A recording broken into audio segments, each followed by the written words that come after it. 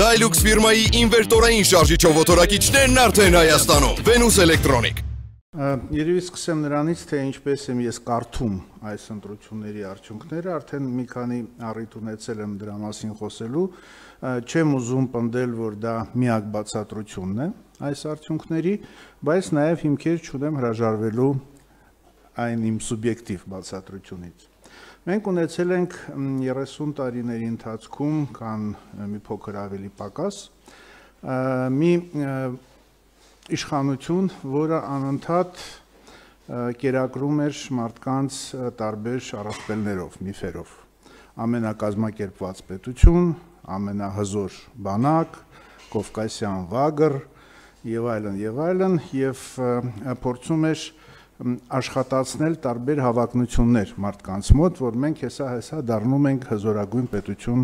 այս աշխարհի երեսին։ Բայց իրականում այդ առասպելների հետևում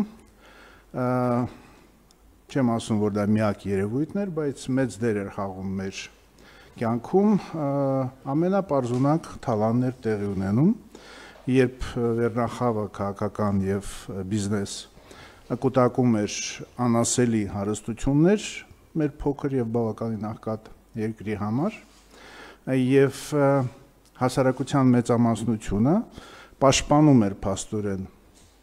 այդ հարստությունը իր աշխատանքով իր ворթիներին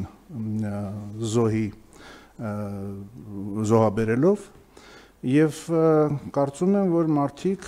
եւ 2018 թվականին եւ 2021 թվականին ասեցին բավ է Մենք այլևս այդպես չենք ուզում, մենք այդպիսի իշխանություն չենք ուզում եւ քանի որ ընտրությունը այդ նախքին առասպելագետների եւ քաղաքացիական պայմանագրի մեջ էր, որը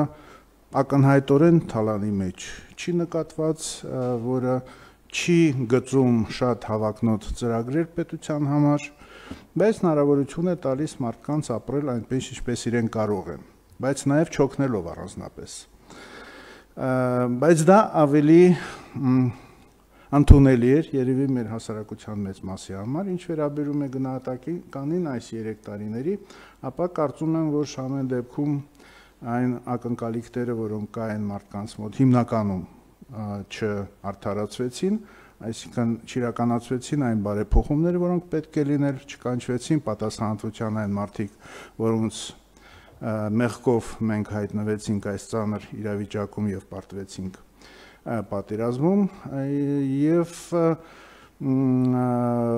այդ ամբողջը հաշվի առնելով մարդիկ ամեն դեպքում դեռ հույս ունեն, որ այդ ամենը տեղի կունենա, այսինքն մի կողմից չեն վերածվելու նախկինների նման թալանչիների եւ պատժելու են այդ թալանչիներին այսինքն այդ հույսերը դեր մեծամասնության մոտ կա եւ հենց այդպես եմ ես բացատրում այն թվերը որ մենք ստացել ենք